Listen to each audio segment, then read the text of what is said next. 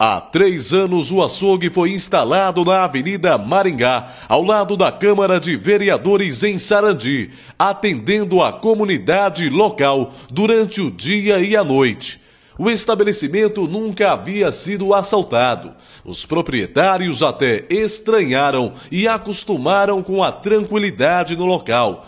Mas a primeira vez que o crime iria acontecer estava mais próximo que eles imaginavam. Às nove horas da noite de quinta-feira, dois marginais chegaram numa moto CB300 colocando pressão, freando em cima da calçada, chegando a derrapar. O garupa, mencionando estar armado, entrou anunciando o assalto.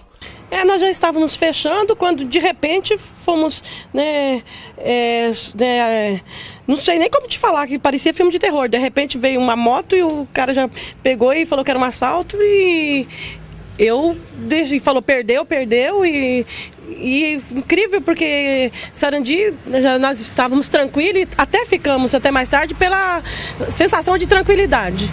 É, mas vivemos momentos de terror. A todo momento eu pensava que ia matar meus filhos. Eu, minha preocupação é que eles iam matar meus filhos, porque ele falava que, que ia matar, que ia matar, entendeu? E olha, não desejo para ninguém o que nós passamos. Foram momentos de, de, de horror mesmo, sabe? A vida das vítimas foi colocada em risco durante o crime por muito pouco. A agressividade dos assaltantes, ameaças, foi o ponto máximo que eles chegaram para conseguir todo o dinheiro possível, se arriscando e arriscando a vida dos próximos por 80 reais que foi tomado.